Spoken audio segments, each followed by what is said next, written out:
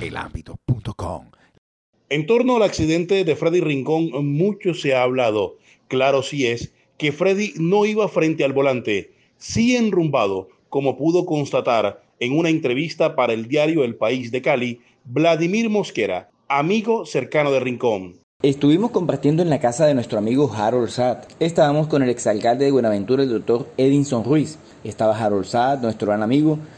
Yo con un par de amigos compartiendo como siempre, hablando de fútbol. Estábamos viendo los partidos del rentado colombiano y compartiendo charlas de salsa. Porque todos sabemos que Freddy es un apasionado por la salsa. Y agregó. Compartimos allí y luego yo arranco y me despido del doctor Edinson Ruiz, del exalcalde.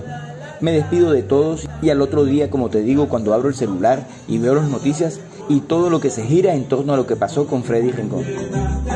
Mosquera resaltó en la entrevista al diario El País el don de gente y buen amigo de Freddy cada vez que compartían. Freddy era una persona muy amable, muy abierto para todo el mundo.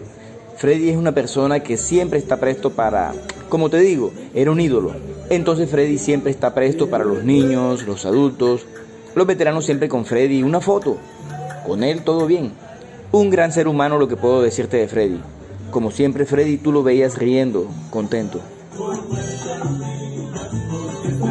Cierto es también el abuso en la vía de la persona que iba conduciendo la camioneta donde Freddy estaba como copiloto al volarse el semáforo en rojo. Como cierto también es que la Fiscalía tendrá su tiempo para seguir recopilando pruebas y determinar quién es el responsable de la muerte del coloso de Buenaventura.